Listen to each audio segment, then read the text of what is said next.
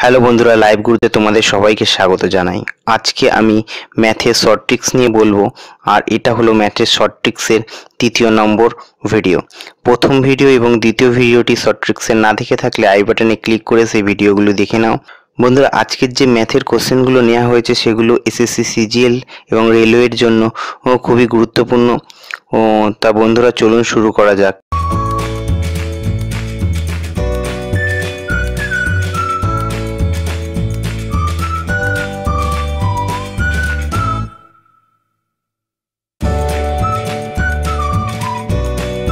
বন্ধুরা, প্রথম অঙ্কটি দেখিনি x plus one by x equals to two হলে x to the power five plus one by x to the power five equals to কত? এখন যদি এই পোর্শনটার দিকে ভালো করে দেখি তাহলে এই এক্সের মান কি ধরলে? এই এই left side and right side both are equal হবে। এ, তাহলে কীভাবে এ আমরা এটা ইকুয়াল করব? এক্সের মান কি ধরলে? দেখো এখানে এই এক্সের জায়গায় যদি ওয়ান বসাই, আর এখানে ওয়ান বাই ওয়ান এক্সের জায়গায় ওয়ান বসাই, তাহলে কি হয়ে যাবে? এ- এদিকে তো টু রয়েছে, আর এদিকেও ওয়ান প্লাস ওয়ান টু হয়ে যাবে। তাহলে কি? কি আমরা এক্স ইকুয়ালস টু কি পেয়ে গেলাম? ওয়ান মানে এক্স ইকুয়ালস টু ওয়ান আমরা বসাতে পারি। যখনই এক্সের মান পেয়ে যাব, তখনই যে ভ্যালুটা বের করতে দিয়েছে, এ সেই ভ্যালুটাই এক্সের মানটা বসিয়ে দেবো। তো এখানে কি ওয়ানের এর to the power five plus one by ওয়ানের টু দি পাওয়ার ফাইভ তাহলে ওয়ানের পাওয়ার হচ্ছে যাই থাকুক না কেন ওয়ান হবে, তা ওয়ান বাই ওয়ান মানে হচ্ছে one plus one equals to two এটা হয়ে গেল অ্যান্সার বন্ধুরা, দ্বিতীয় কোশ্চেনটি দেখে নিই। X to the power four plus one by x to the power four equals to two হলে এই x to the power forty seven minus one by x to the power forty seven equals to কত? তাহলে এখানেও same আগের মতনই apply করব যে এক্সের মান কি হলে এ লেফট হ্যান্ড সাইড এবং রাইট হ্যান্ড সাইড ইকুয়াল হবে এই ইকুয়েশনে তাহলে এ যদি এক্সের মান ওয়ান ধরি, এখানেও সেক্ষেত্রে একই হবে। কেন এক্সের মান যদি ওয়ান ধরি, ই তাহলে কি one x to the one to the power four one by one to the power four মানে কি one plus one equals to two হবে? টু হবে। তাহলে এটা ইকুয়ালস টু টু হলে এটা এটা ইকুয়াল হয়ে যাচ্ছে। যখনই ইকুয়াল হবে, সেই ভ্যালুটা কি করব? যে তার মান বের করতে দিচ্ছে, সেটা বের করব। মানে কি, এই এক্সের মান কি এখন ওয়ান তাহলে কি ওয়ান টু দি পাওয়ার কি হচ্ছে? Forty seven minus one by one to the power কি হচ্ছে? ফর্টি সেভেন এন তাহলে ওয়ানের পাওয়ার যাই থাকুক ওয়ান হয় যতগুলোই ওয়ান গুণ করি না কেন, তো ওয়ান বাই ওয়ান মানে আবার ওয়ান হয়। One minus one equals to zero তাহলে এটা কি হয়ে গেল?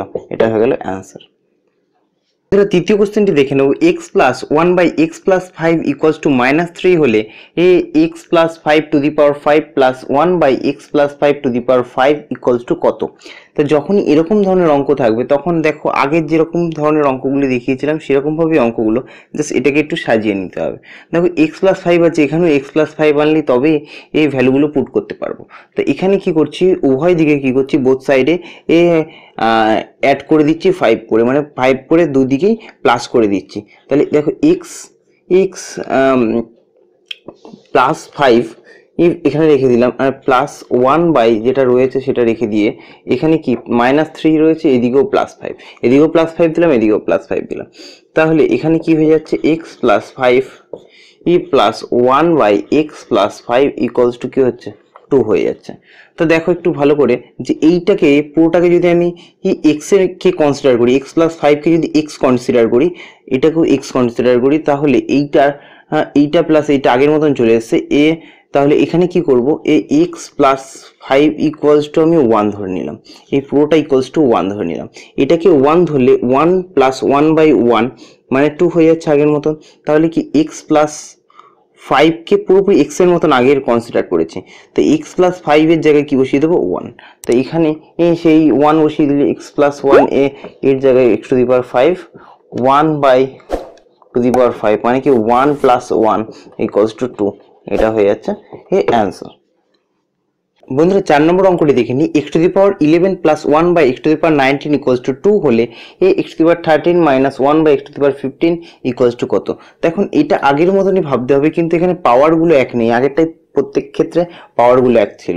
কিন্তু এখানে কোনো প্রবলেম নেই, যেহেতু টু দেওয়া রয়েছে, এ সেক্ষেত্রে আমরা এক্স ইকলস টু ওয়ান ধরলেও ওয়ান টু দি পাওয়ার যাই আসুক না কেন ডিফারেন্ট হলেও ও কোনো যাই আসে না। তাহলে কি এ সেই একই প্রসিডিওর হবে? এ এখানে এ x equals to one to the power ইলেভেনেরও one থাকে, আর ওখানে ওয়ান বাই নাইনটিনেরও ওয়ানের পাওয়ার যাই থাকুক না কেন ওয়ান থাকে। তাহলে কি এটা টু স্যাটিসফাই করছে এক্স ইকলস টু ওয়ান ধরে। তাহলে এখানে মানটা বসিয়ে দেবো। ও, যে এখানে কি আছে? এ এক্সের মান one one to the power thirteen minus one by one to the power fifteen মানে one minus one equals to কি? জিরো এটা হয়ে গেল অ্যান্সার বন্ধুরা পাঁচ নম্বর অঙ্কটি দেখে নেব। ও tan theta plus cot theta equals to two হলে tan to the power four theta plus cot to the power four theta equals to কত? তাহলে এইখানে tan theta plus cot theta equals to two একইভাবে এখানে কিছু মান ধরে নিতে হবে। দেখব আগের ফর্মে এটাকে সাজানো যায় কিনা। তাহলে এ- এখানে এ, এটা কি লেখা যায় ট্যান রয়েছে ট্যান দিয়ে দিলাম এখানে ট্যান থিটা রয়েছে ট্যান থিটাই লিখলাম। প্লাস কটকে লেখা যায় one by tan theta equals to two এই ট্যান থিটাকে যদি এক্স কনসিডার করি, আগে যেরকম ভ্যালু ধরে নিয়েছিলাম এক্সের, এখানে ট্যান থিটার ভ্যালু যদি ধরে নিই মানে ট্যান থিটা ইকুয়ালস টু যদি ওয়ান ধরি, তাহলে কি হবে? One plus one by one মানে ওয়ান ইকুয়ালস টু টু হয়ে যাবে। তাহলে tan theta equals to one ধরে এটা ভ্যালুটা আসছে। তাহলে কি ট্যান থিটার মান ওয়ান হয়ে যাবে, সেই একই রকম ভাবে। তা এখানে এই মানটা বসাবো। এই ট্যানকে ট্যানই রেখে দিলাম tan to the power four theta plus কটকে লেখা যায় one by by tan to the power four theta তাহলে এখানে টেন থিটার মান ওয়ান ধরলাম one to the power four plus টেনের মান one one to the power four one to the power four তাহলে কি? One plus one equals to two হয়ে গেল?